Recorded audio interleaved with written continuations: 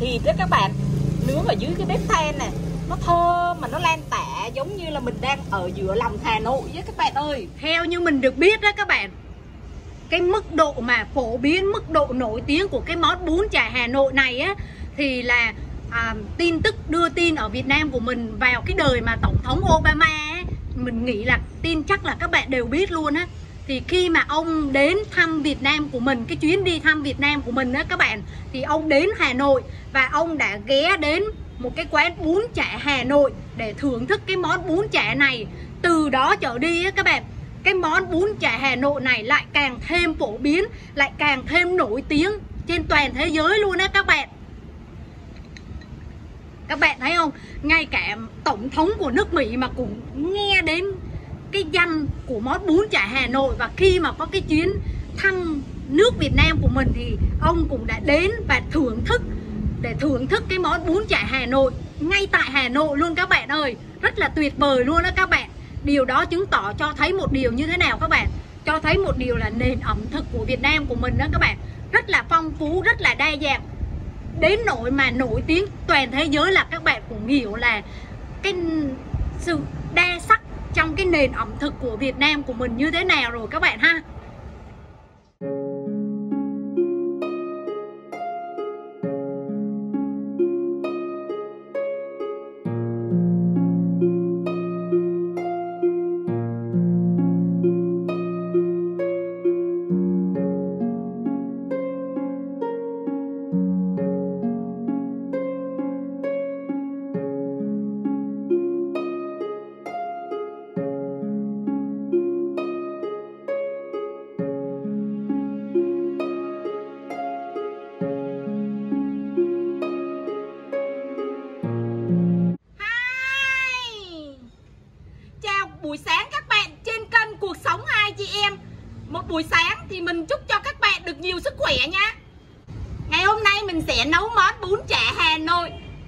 Mình được biết là món bún chả Hà Nội này được phổ biến và nổi tiếng cho đến bây giờ luôn nha các bạn. Giờ thì mình sẽ nấu cái món bún chả Hà Nội này cùng với các bạn nhé nguyên liệu mà mình để làm cái món bún chả Hà Nội hoặc là cái chả miếng hoặc là chả viên thì mình có mua là một ký hai thịt nạc vai. Một nửa mình nhờ người ta xay một nửa mình để nguyên nha các bạn. Một ký rưỡi bún nhỏ rau mình ăn kèm là gồm rau xà lách và tất cả các loại rau thơm nha các bạn. Một củ cà rốt, một củ su hào để tí nữa mình làm chua ngọt nha các bạn. Đây là các loại gia vị mà mình dùng để cái ướp cái thịt chả nha các bạn. Thì ờ, mình cũng được biết là ở ngoài Hà Nội á các bạn, thì không có ướp ngũ vị hương. Trong nam mình mới ướp ngũ vị hương, nhưng mà các bạn nào, nhà bạn nào thích á, thì mình sẽ cho một ít ngũ vị hương vào vẫn được nha các bạn nhé bốn thìa dầu ăn thì nước mắm. Tiêu nửa thìa nước tương nửa thìa dầu hào hai thìa mật ong hai thìa đường vàng nửa thìa bột ngọt nửa thì hành tỏi mình băm nhuyễn nha các bạn. Bây giờ mình sẽ sắt thịt và ướp thịt nha các bạn cái thịt này à, mình, các bạn nhà, các bạn nào muốn mua, mở thịt ba rọi đều được luôn nha các bạn nhé mình sắt cái miếng mỏng mỏng như thế này là được rồi nha các bạn. Bây giờ mình sẽ ướp. Những nguyên liệu mà mình giới thiệu ngay từ đầu ấy các bạn, thì hai bên mình cứ chia ra là một nửa nha các bạn nhé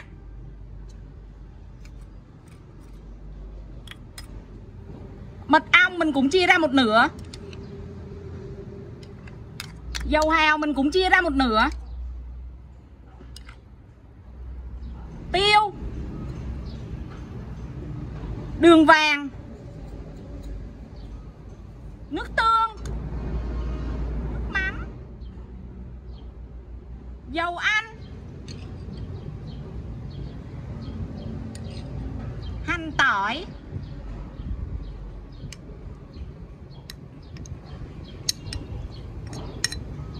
Mình sẽ trộn đều lên nha các bạn.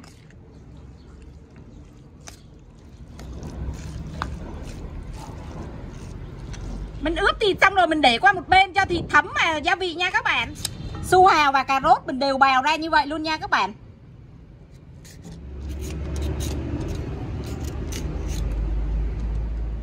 Bây giờ mình sẽ muối cái phần chua ngọt nha các bạn nhé mình cho ít muối, mình rửa sơ qua nha các bạn.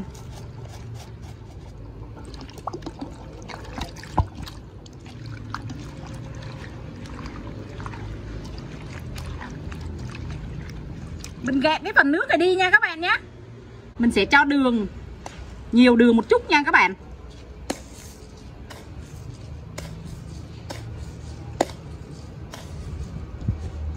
Tám thìa nhỏ đường, giấm gạo.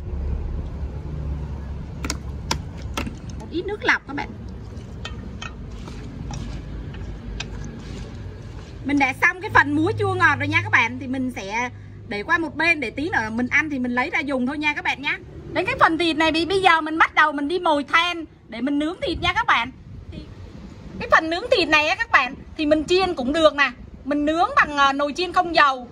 Lò nướng đều được hết nha các bạn. Bây giờ mình sẽ mồi than nha các bạn. Thì than nó to thì mình sẽ chặt nó nhỏ nhỏ ra chút nha các bạn nhé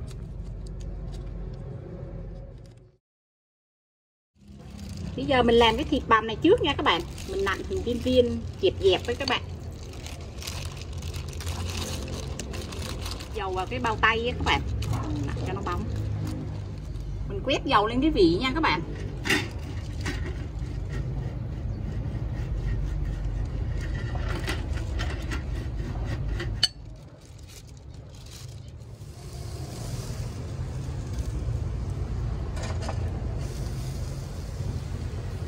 sẽ quét lớp dầu lên thịt nha các bạn. Mình nướng thịt bằng than đấy các bạn. Thì cái mùi thịt của mình nó sẽ thơm hơn nha các bạn ơi.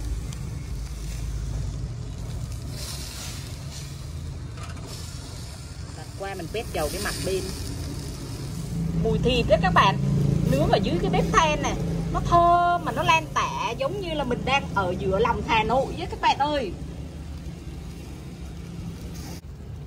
mình sẽ pha cái nước sốt mình uh, rưới lên cái miếng thịt sau cùng là ba thìa ờ, mật ong và hai thìa dầu hào nha các bạn. Mình trộn đều lên. Sẽ quét lên cái miếng thịt đấy các bạn. Mở ra các bạn.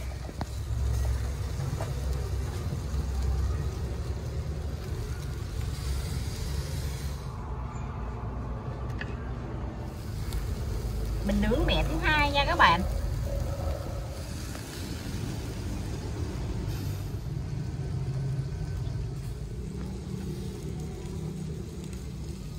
thơm lắm các bạn ơi bây giờ mình sẽ đi nướng thịt miếng nha các bạn nhé.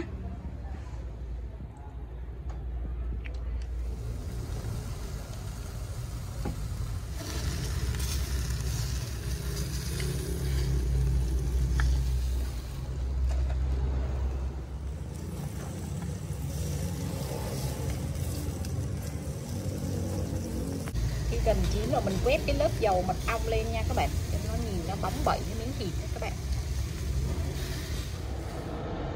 Mình sẽ cho một chén nhỏ đường vàng vào để nấu nước mắm nha các bạn. Mình sẽ hòa tan cái phần đường cho nó tan ra nha các bạn. Mình nấu cái đường vàng thì cái màu nước mắm của mình nó đẹp hơn. Còn các bạn, nhà các bạn có đường trắng thì mình nấu vẫn được nha các bạn. Chén nước mắm vào mình đã tắt bếp rồi các bạn. Tại vì hồi nãy lúc nãy mình sử dụng bằng nước sôi cho nên nấu rất nhanh các bạn ơi. Và mình thử xem cái nước mắm của mình đã vừa chưa nhé. Mình xin phép các bạn. Mình cho thêm một thìa nước mắm này nha các bạn. Thì nếu mà nhà các bạn nào mà có ăn được bột ngọt đấy thì mình cho thêm là ba thìa bột ngọt. Còn mình thì mình không cho bột ngọt vào nha các bạn. Cái nước mắm để mình ăn cái bún chả Hà Nội ấy các bạn nó có một cái đặc điểm uh, lưu ý là cái nước mắm của mình ăn á, là nó phải còn đang còn ấm ấm nha các bạn nhé thì mà nước của mình đang còn nóng này, thì mình sẽ để cho nó nguội nguội ấm ấm một chút là mình sẽ dùng được rồi nha các bạn.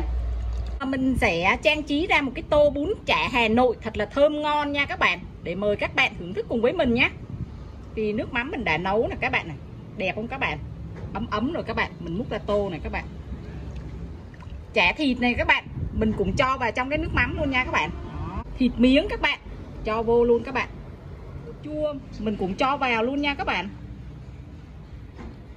Nhìn thấy cái tô bún chả Hà Nội của mình trang trí có đẹp không các bạn? Rất là ngon. Còn cái phần mà tỏi ớt bằm này các bạn, thì mà các bạn muốn ăn thì mình cũng bỏ vô nha các bạn. Mình bỏ vô này đó. Sẽ ra một cái tô nước mắm này các bạn. Tí nữa mình ăn bún thì mình sẽ trúng vô nha các bạn. Hello Xin chào các bạn trên kênh Cuộc Sống Hai Chị Em. Thì các bạn ơi Chị gái mình đã làm xong món bún chả Hà Nội rồi nha các bạn. Rất là thơm ngon các bạn ơi. Bây giờ mình mời các bạn thưởng thức cùng với mình nhé.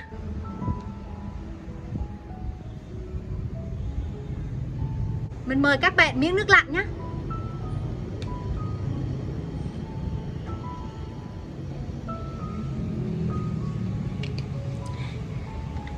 Các bạn ơi, các bạn nhìn cái tô nước mắm bún chả mà chị gái mình làm cho mình này các bạn. Chị gái mình pha sẵn này. Ngon không các bạn? Mình lấy một miếng bún này các bạn. Mình chấm vào cái phần nước mắm Mà chị gái mình làm. Mời các bạn nhé.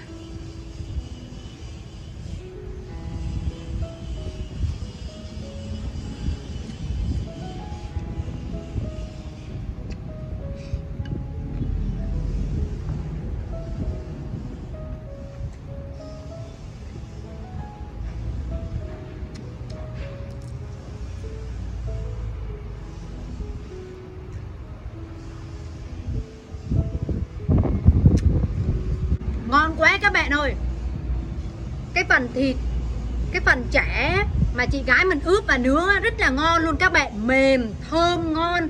Còn cái phần nước mắm chị gái mình nấu cũng vừa ăn luôn nha các bạn. Hòa quyện đúng là cái món bún chả Hà Nội thơm ngon lắm các bạn ơi. Mình mời các bạn miếng nữa nhé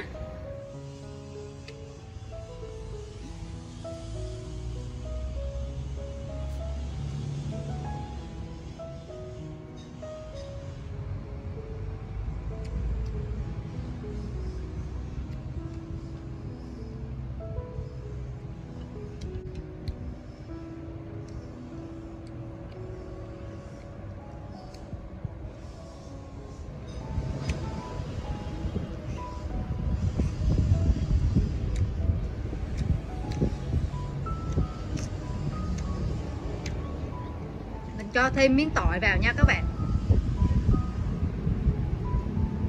Theo như mình á thì mình thấy là cái phần mà chả thì ăn dễ ăn hơn là cái phần thịt miếng nha các bạn.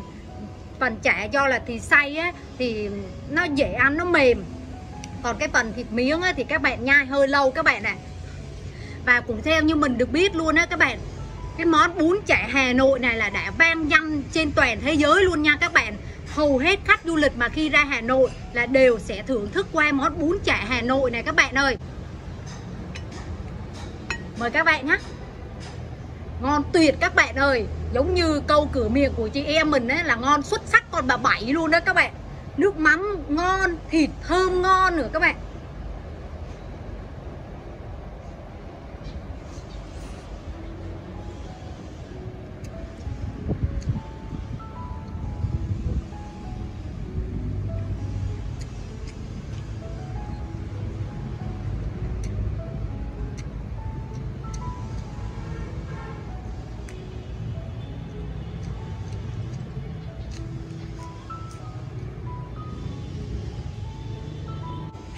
Mình được biết đó các bạn cái mức độ mà phổ biến mức độ nổi tiếng của cái món bún chả Hà Nội này á thì là à, tin tức đưa tin ở Việt Nam của mình vào cái đời mà tổng thống Obama á, mình nghĩ là tin chắc là các bạn đều biết luôn á. Thì khi mà ông đến thăm Việt Nam của mình cái chuyến đi thăm Việt Nam của mình đó các bạn thì ông đến Hà Nội và ông đã ghé đến một cái quán bún chả Hà Nội để thưởng thức cái món bún chả này. Từ đó trở đi á các bạn cái món bún chả Hà Nội này lại càng thêm phổ biến, lại càng thêm nổi tiếng trên toàn thế giới luôn á các bạn. Các bạn thấy không? Ngay cả tổng thống của nước Mỹ mà cũng nghe đến cái danh của món bún chả Hà Nội và khi mà có cái chuyến thăm nước Việt Nam của mình thì ông cũng đã đến và thưởng thức, để thưởng thức cái món bún chả Hà Nội ngay tại Hà Nội luôn các bạn ơi. Rất là tuyệt vời luôn đó các bạn điều đó chứng tỏ cho thấy một điều như thế nào các bạn. Cho thấy một điều là nền ẩm thực của Việt Nam của mình đó các bạn. Rất là phong phú, rất là đa dạng. Đến nỗi mà nổi tiếng toàn thế giới là các bạn cũng hiểu là cái sự đa sắc trong cái nền ẩm thực của Việt Nam của mình như thế nào rồi các bạn ha. Mời các bạn miếng nữa nhé. Mình là mình kết cái cái cái phần nước mắm với lại cái cái miếng chả các bạn. Thơm ngon các bạn ơi. Các bạn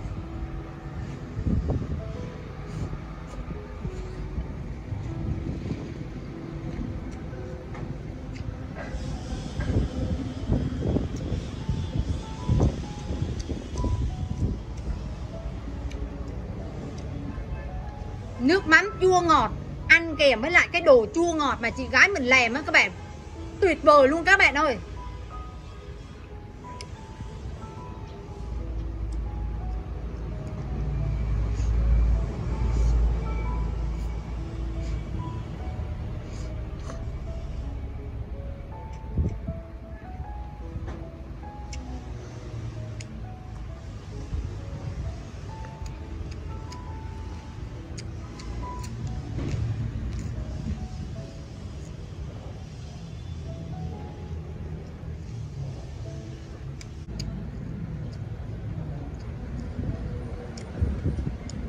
Ăn cái bún chả này phải kết hợp với lại các loại rau thơm này các bạn. Nó mới làm tăng thêm cái hương vị của món bún chả các bạn ơi.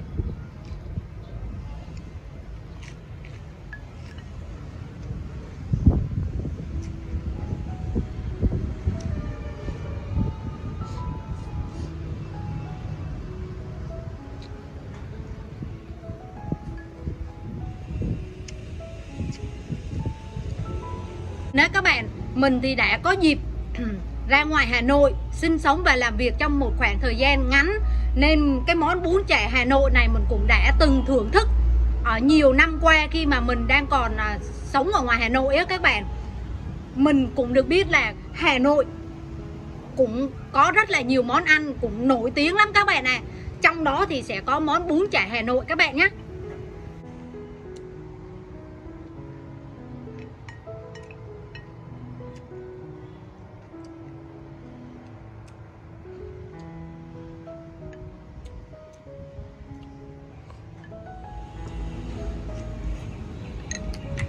Mời các bạn miếng nước lạnh nhé.